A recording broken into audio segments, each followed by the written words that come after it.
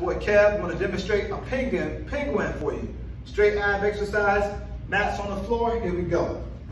What you wanna do, lay back on your back, hands down to the side. Up for a crunch, slightly crunch and reach down towards those shins. From side to side, tapping those ankles.